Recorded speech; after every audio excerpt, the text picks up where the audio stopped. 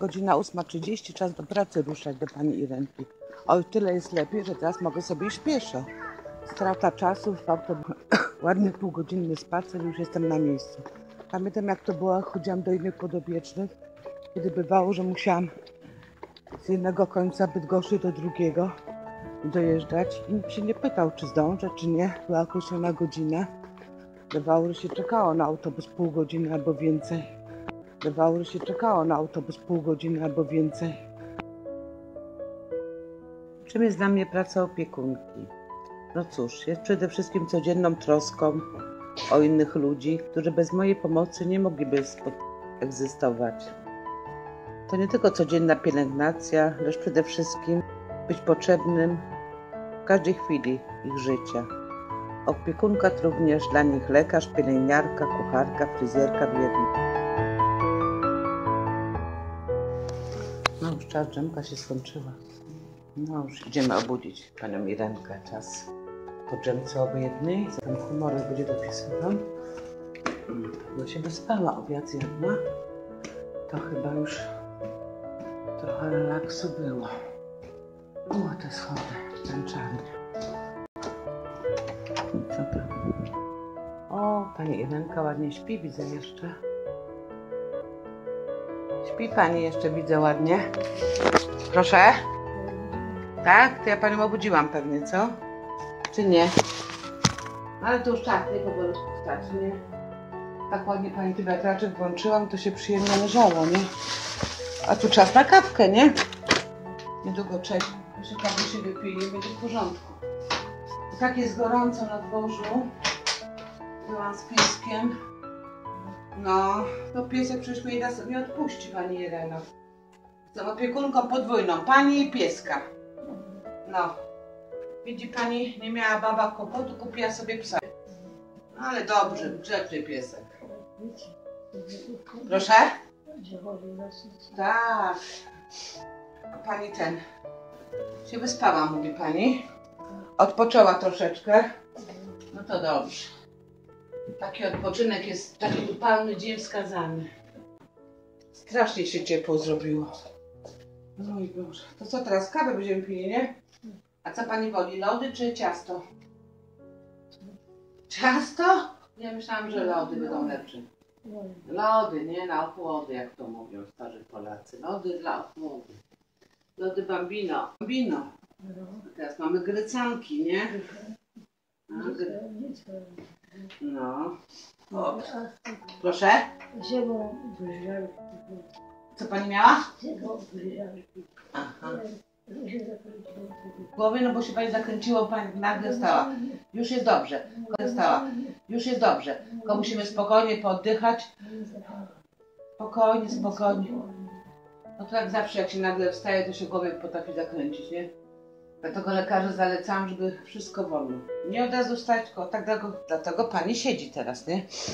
A nie chodzi. No właśnie. Ojej, a piesek nam uciekł. Nie, piesek chyba w salonie sobie śpi. Piesek to nigdzie nie pójdzie beze mnie przecież, nie? To mówi pani się w głowie zakręciło. No widzi pani. Ale zaś się uspokoi. Kawy brakuje, nie? Będzie kawka, to się humorek poprawi zaraz. Ciekawe, o której ten... Ciekawe, o której ten Michał przyjedzie, nie? Po tego... Po swoje torby. Hania się już cieszy, że będzie miała chwilkę spokoju, nie? Po co jej tam jeszcze kłopot? Oj, włoski były piękne, trochę się tam rozburzyły po myciu, ale jest ładnie jeszcze. Na trzecia już czas na podwieczorek i dzień wleci prawie, nie? Dużo nam nie zostało jeszcze z tego dnia już.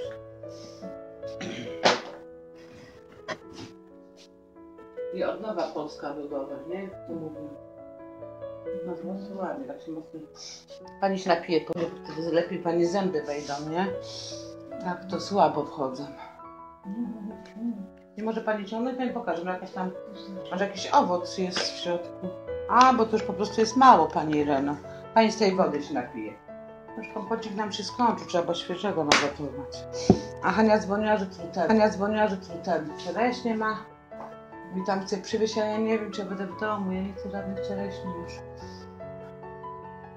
Nie chce mi się robić za ciepło, pani rano na jakieś tam zaprawy. To nie jest ten ta pora. 30 stopni w cieniu, ale też gorąco, mówię pani. Ale pani się nie spociła przy spaniu, nie dzisiaj. No wiecie, dużo pomógł. Wiatracze to jest taka przyjemna ochłoda, nie? Ja też mam w domu, ale taki mały, beznadziejny. Tak, to widzi pani. Się lepiej, no. I teraz lepiej zęby, ojej, lepiej zęby wejdą, jak jest mokra, nie? O Jezu, nie pani, widzi pani? Słońce na mnie działa. Też. Słońce mi się też w głowie kręci pewnie. Dobra, odstawimy. O Jezu.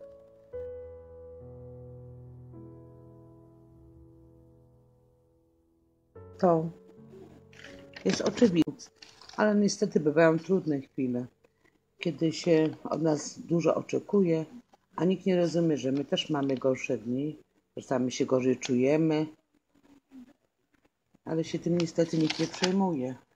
Kiedy zaczęłam pracować jako opiekunka, sytuacja na rynku była trudna. Pracowałam jako, na rynku była trudna. Pracowałam jako księgowa kiedyś. Niestety musiałam zmienić zawód. Początki były trudne. Pracowałam w Miejskim Ośrodku Pomocy Społecznej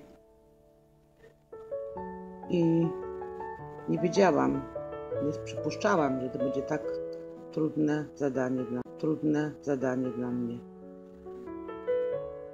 Kiedy pierwszy raz poszłam do moich podopiecznych, bardzo się przejmowałam tym wszystkim, nie wiedziałam, co mnie czeka. Bo co innego być na kursie, a co innego być na co dzień z tymi ludźmi.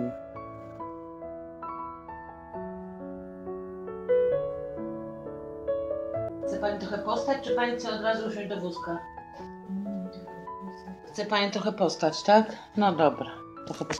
To co, będziemy próbowali stać, tak? Pani Rano, raz, dwa i obsesa. Uuu, ciężko, tak? No ale musimy próbować. Gimnastyka jest ważna, tak? O, widzi Pani. Nóżki wyprostować i i lepiej Pani stoi, dzisiaj stoi jak wczoraj, nie? Proszę?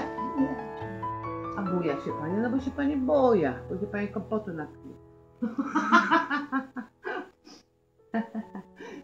Hania miała nam piwo kupić, nie takie słodkie.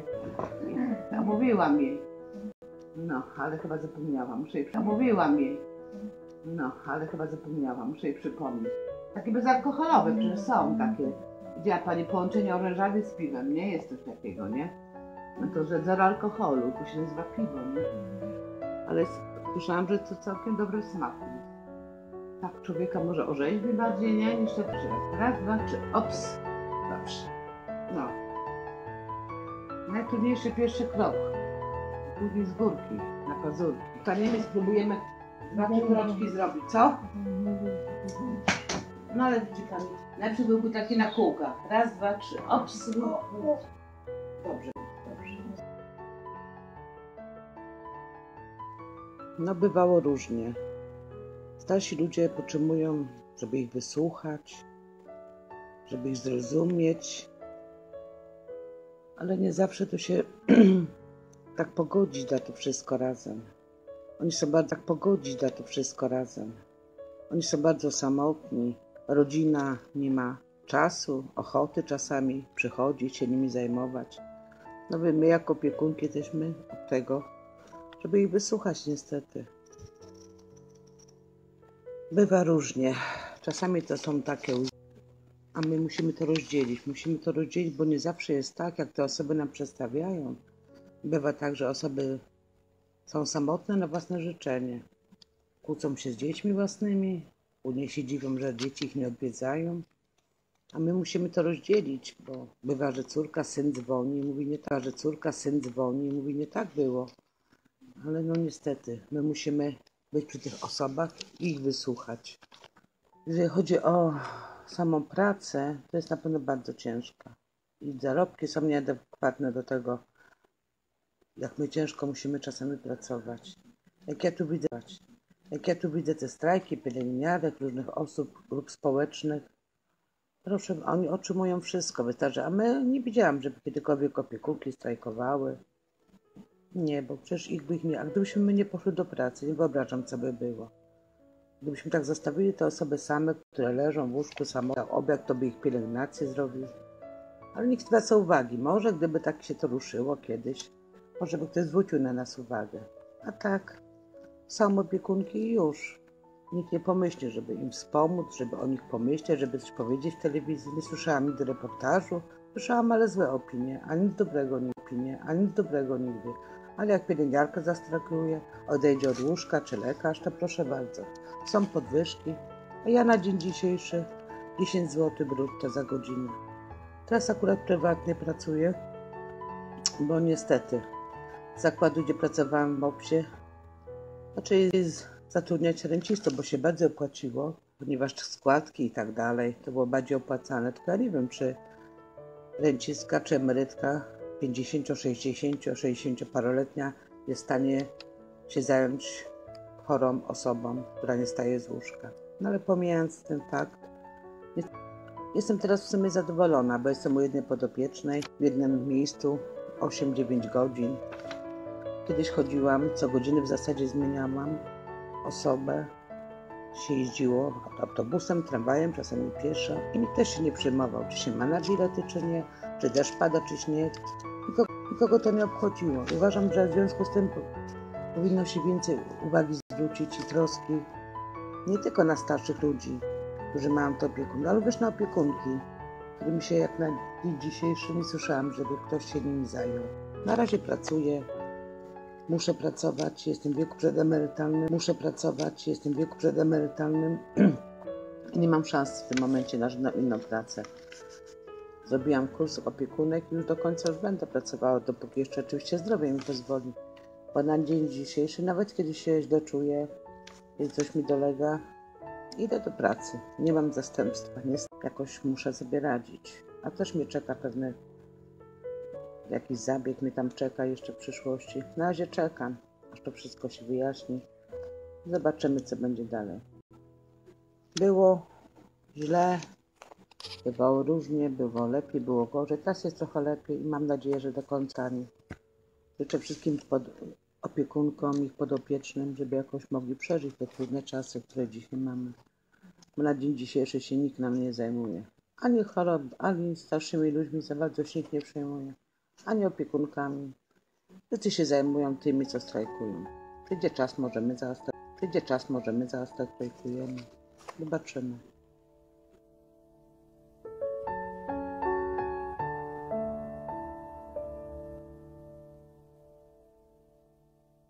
No niestety, pani Irenka się pobrudziła cała, ale wystarczyła chwila nieuwagi z mojej strony. Poszłam po obiad, już wszystkie rzeczy do zamoczenia, do wyprania. No nie. Poleciało na wszystkie ładne rzeczy, czyste rano były, ale się skończyły. Tak to jest z chorymi niestety. One niestety. Przy tej chorobie nie ma się czemu dziwić. Przy Parkinsonie. Wszystko będzie dobrze. Po to mamy odpowiednie środki, żeby to wszystko ładnie zeszło, wyprało się.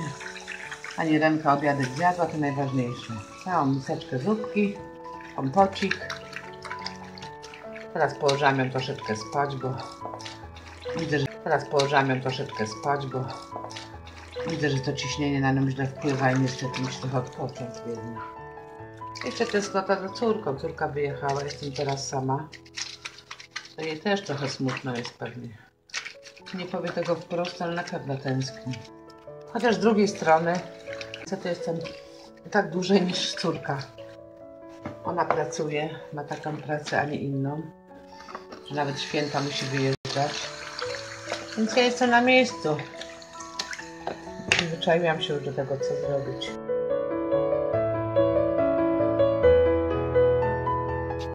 Listopadzie kończę 60 lat, więc prawdopodobnie przejdę na emeryturę. Ale biorąc pod uwagę te wielkości tych emerytur, to prawdopodobnie jeszcze będę pracowała, o ile zdrowie mi na to pozwoli. Na razie nie jest źle, jakoś się trzymam. Zobaczymy, co będzie dalej. No i oczywiście wszystko zależy od pani ręki. No i oczywiście wszystko zależy od pani ręki, którą się opiekuje. Mam nadzieję, że ona jeszcze tam pożyje troszeczkę. Opiekuję się nią jak tylko mogę, jak własną matką, więc na pewno jeszcze trochę posiedzimy razem.